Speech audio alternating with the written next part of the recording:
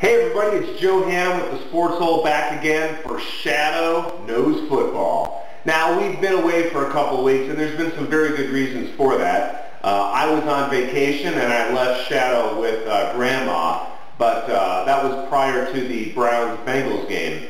And I have it on good authority that Shadow correctly picked that the Browns would cover in that game, but she didn't actually think that they were going to win, which of course they didn't.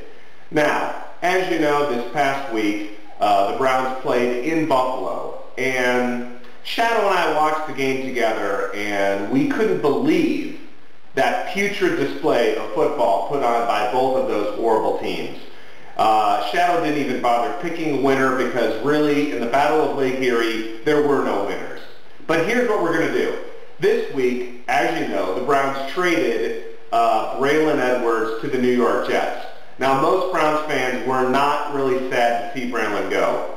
After all of his shenanigans and all the drop passes and all the smack talk and all the ridiculousness from Braylon, um, most Browns fans, like me and Shadow, are simply ready to just say bye-bye to Braylon. But what we are going to do is that Braylon and his new team, the New York Jets, are playing the Miami Dolphins on Monday Night Football tonight.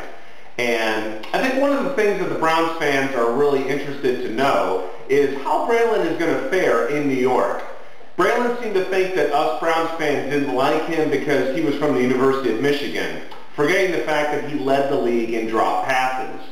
So what Shadow is going to do tonight is uh, predict how many drop passes is Braylon going to have on Monday Night Football against the Miami Dolphins. So here's how we're going to do this. We have is uh, three pieces of paper here on the floor. One says zero drops, one drop, two or more drops. And that, of course, refers to drop passes, which is uh, Braylon Edwards' specialty. And on each little piece of paper, we have a piece of uh, breakfast sausage. Now, why did I pick breakfast sausage? Well, as you can see, it uh, kind of reminds me of uh, something that kind of reminds me of Braylon.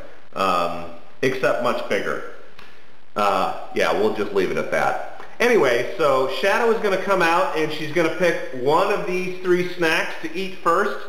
And we're going to predict how many drop passes Braylon is going to have tonight.